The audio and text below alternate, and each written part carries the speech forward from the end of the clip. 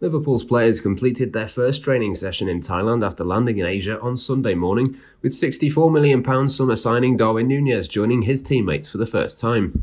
Some Liverpool stars have been in training since last Monday, but Nunez, Mohamed Salah, Alisson Becker, Fabinho, and several others were spotted back for the first time after their international exertions meant they were afforded an extra few days of rest before getting back to work.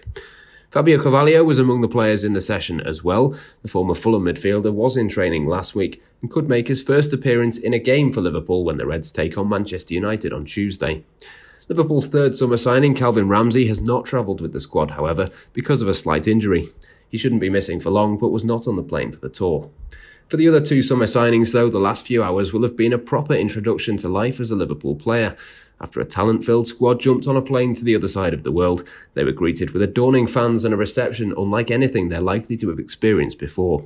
Tuesday's game against Manchester United will only ramp things up further, with Jurgen Klopp outlining his anticipation for that fixture in a press conference conducted almost as soon as the plane arrived at the airport.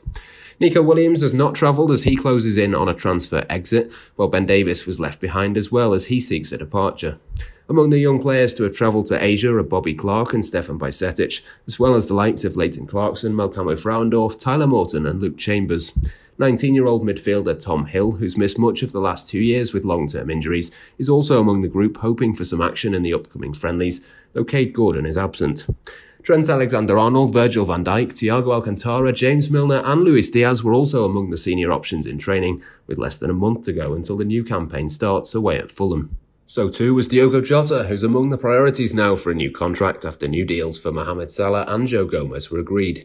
After completing some time in Thailand and Singapore, Liverpool will head back to Europe to play both Red Bull Salzburg and RB Leipzig, with an Anfield friendly against Strasbourg and the Community Shield against Manchester City completing the pre-season set.